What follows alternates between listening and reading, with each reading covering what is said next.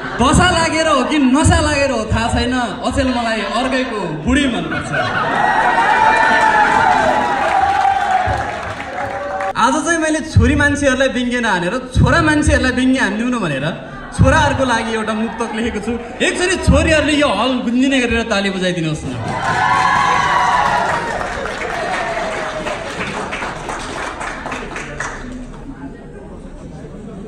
कोही कसैलाई यदि यहाँनिर ज्यान त्यस्तै भएकोहरूलाई यो पर्न गयो भने म क्षमा प्रार्थी भन्न चाहन्छु अहिले।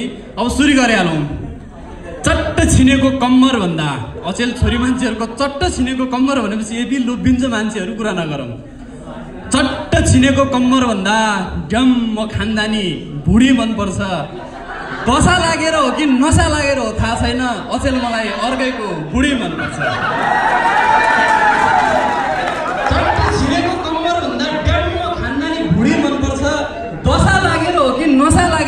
छैन तर मलाई अचेल अर्कैको बुढी मनपर्छ। के रोग लाग्यो भनेर डाक्टरलाई सोध्न गएको? यो के रोग लाग्यो भनेर डाक्टरलाई सोध्न गएको? डाक्टर झन् अर्कैको बुढी ल्याएको मुद्दाले पुलिस चौकी गएको रहेछ। धामीलाई देखाएको यो के हो भनेर धामी आफैले अर्कैको छोराको आमा भगाएको रहेछ। बुझे आखिर? बुझ्यो आखिर? सारा दुनियाँलाई सजिलै मिल्ने सुन्दरी भन्दा नक्कलीलाई पाउने लुछा चुडी मनपर्छ। नसा लागेर हो कि दशा लागेर हो थाहा छैन? मलाई अचेल अर्कैको बुढी मनपर्छ। मेरो बुढीलाई मै ह्यान्डसम अरे। मेरो बुढी यतै हुन्छ अहिले चिनाउँला। मेरो बुढीलाई मै ह्यान्डसम अरे कालो भए पनि गोरो भए पनि। मेरो बुढीलाई मै ह्यान्डसम अरे कालो भए पनि गोरो भए पनि आफूलाई भने अर्कैकै बुढी ब्युटिफुल लाग्ने काखमा घोर्ने छोरो भए पनि।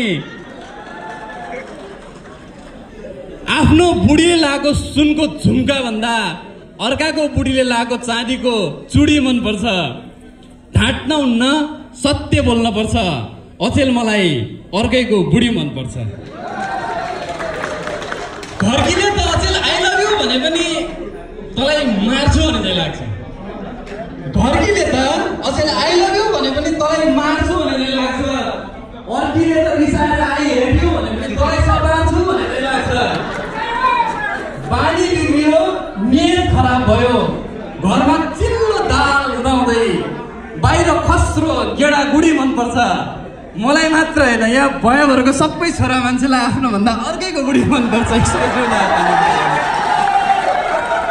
यो साहित्य यो तिन मिनट समय दिनुभएकोमा मेरो मित्र धनशेर पुजालाई धेरै धेरै धन्यवाद। अब अन्तिममा अब अन्तिममा एउ- एउटा अँ, नाम भन्न छुट्याउनु भएछ राम हरि खपाङ्गी मगर भन्ने मान्छे म।